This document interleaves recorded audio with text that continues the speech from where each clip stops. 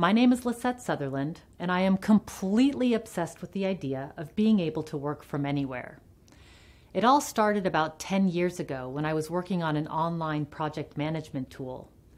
Now, the CEO of the company was fairly extraordinary, and he was building the tool because he didn't want to die.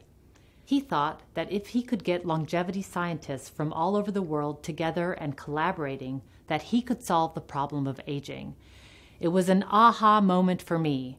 And while it wasn't my particular passion, I realized that if we got the right people together, that we could solve extraordinary problems and do great things together. I realized that I had this treasure trove of information that would be useful to share because many companies are struggling with this.